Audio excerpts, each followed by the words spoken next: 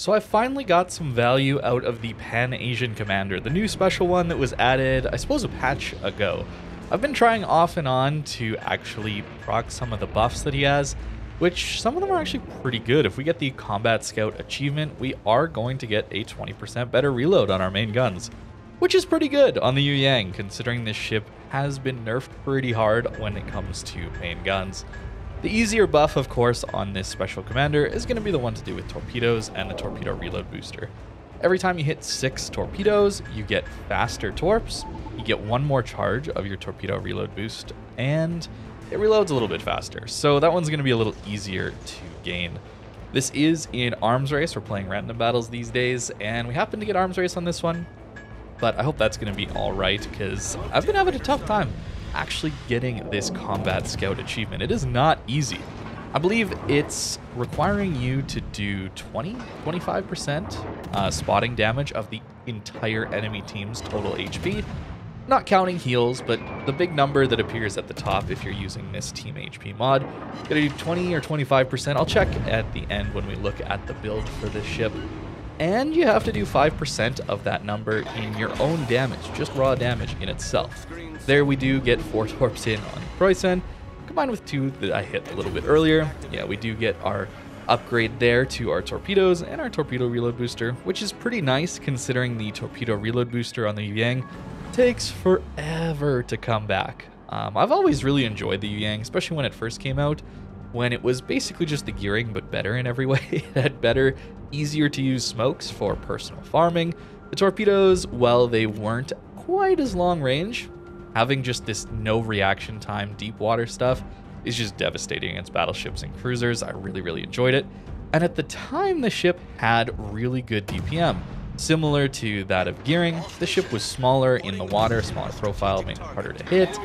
It was really, really nice to use. Uh, these days, though, it's been a little bit outgunned, of course, and it got nerfed massively when it came to his main guns. You can see how this Daring is almost able to reload twice in the time it takes us to reload once. And he's got better fire chance by about double. So, yeah, we're not going to win gun many gunfights there. Something I should look out for is the Legendary mod, which has been a decent upgrade to the main guns. Um, originally, this ship, of course, was nerfed because it had a radar. Radar plus really good gun power was a little bit oppressive when it came to certain competitive modes. I think that's why it was nerfed in the past, at least. I'm not exactly sure. It's not a ship I really want to play much these days. But now with this torpedo, reload booster, and this special commander, it is definitely worth picking up and playing again. Um, we've done a decent job here. We're trying to support our teammates. That's why I rushed in for that daring. I knew I had quite a bit of team support, so once that daring ran out of smoke, we could take him out. Of course, we've done a decent amount of spotting already, 130k, nearly 100k in our own damage itself. So yeah, we are trying to carry this game. It is not looking good, as you can see. Um, and actually just keep an eye out that the enemy team has committed two of their destroyers to the 10 line and the J line for this entire game. That'll be important later. I just want to make a note of that. Uh, as we do manage to take out one of those Ohios, and we finally get the Combat Scout once we get 164,000 spotting damage and around 120k damage. So the achievement is pretty difficult to get, I would say. I'm surprised I even have this much spotting damage, considering the we have carriers in this game. Um, but playing around the middle of the map here and trying to be the closest one to the enemy ships has netted me quite a bit of spawning damage. So now that we have this 20% reload, keep in mind I am a bit of a torp build here, so we're not looking at full DPM Yueyang. But with this buff, we have around a 2.3 second reload now, with a little bit of AR kicking in as well. So we're about to a normal gearing build with, with the reload mods for the guns. Yeah, not the most impressive thing in the world. And I don't know if Combat Scout is really realistic to think about getting on something like the GNAT, right? Where reload would be pretty insane considering that ship already has decent DPM now that they've buffed it a little bit again.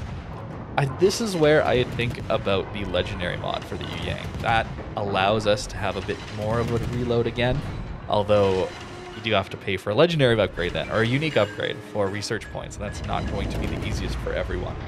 So I'm not sure what to really make of the Yueyang these days. I probably will leave this special commander on the Yueyang since that does seem to be a reasonable way to get the most value out of this commander. Specifically, you should know though, this commander doesn't actually buff your torpedo reload uh, when you get that combat scout. So unlike Halsey, where you do get buffs to your main guns and to your torpedoes, this ship actually doesn't buff your torps, which is a little bit interesting. I'm not sure why that necessarily is. Perhaps it comes down to the Halsey Confederate buff being a little bit too strong. Although in that case, I would say Confederate is a little easier to activate on more ships than the Combat Scout achievement is. Or it just could come down to that this commander has a separate perk totally dedicated to torpedoes, which buffs again your torpedo speed and that cooldown on the torpedo reload booster, and giving you a whole nother charge. Um, this game, of course, we did actually manage to cap the middle circle here, which usually means GG when it comes to this arms race or epicenter style of game mode. Usually the points tick up fast enough, but we've given up so much map control and lost a lot of ships, so they're actually able to push in and stall the cap out. And all I really have left is this one smoke uh, to use to hopefully deal with this Puerto Rico. Of course, he's going to radar, so we have to leave. And these torpedoes. That's really all that it comes down to here. Yueyang is a pretty solid ship, but I don't see it quite having the carry potential like some of the best tier 10 DDs have at this tier. Um, but hey, we have done reasonably well in this match specifically even with a carrier in the game, we did manage to avoid a lot of attention just by using uh, turning our AA off, being pretty stealthy, focusing on our torpedoes, and of course having these uh, Pan-Asian smokes, which are a bit of an in-between ground between uh, the daring and the gearing style of smokes, allows us to somewhat get away from these bad situations. Unfortunately, I dumped all my torpedoes, and we ended up missing the Puerto Rico, and we don't even hit the Des Moines or the Slava that come through that next channel. So my teammate collapse, teams collapse, and uh, we're forced to just run away and maybe try and deal with this Marceau here at the end. Our HE is not going to do all that much to him since he does saturate pretty quickly. He does have a Sherman, of course, with him as well, so we're just going to die at this point. But this special commander seemed to do pretty alright. I just wonder about this combat scout achievement. It hasn't been in the game for that long. I don't have very many of them. Perhaps the more I think about it, I could activate Combat Scout a little bit more often, focus on spotting much more, and uh, then trying to do a little bit of damage here and there. We managed to dodge the first set of Marceau Torps, dodge the second set, although of course uh, Sherman Sap is just going to take us out very quickly. But hey, we didn't eat the point blank Marceau Torps. That's kind of fun. uh, but unfortunately, we do end up losing this game. But I at least managed to deal with um, this commander and actually managed to use some of the skills. As for the build here, you can see that I have gone for mostly that uh, torpedo focus, but we do have a little bit of main guns here, um, giving up things like Superintendent. Since traditionally I haven't actually been able to use most of these consumables, we already get plenty of smokes, and with this torpedo reload booster skill, um, we are getting up to three, of course, once we do activate that, getting six torp hits, which isn't too hard to do. And the reload is already ridiculously long, even with that 25% reduction that I don't really think that's as necessary. I'd rather focus on uh, some more of this damage. Of course, taking Concealment Expert as well. A full gun build might be interesting on this ship, um, considering that extra 20% we're going to get for that Combat Scout achievement. I don't know. I can't really see it though as much since it's just so nerfed on its base reload here that it's very difficult to take advantage of that. You have to spend so many points and upgrades and get a special achievement to even match what even a gearing could do, which, let's be honest, gearing isn't the best gunboat these days. So here as we can see, I've only actually received four of these Combat Scout achievements. And again, 20% spotting and 5% damage is the numbers that you need to do. It's quite a lot.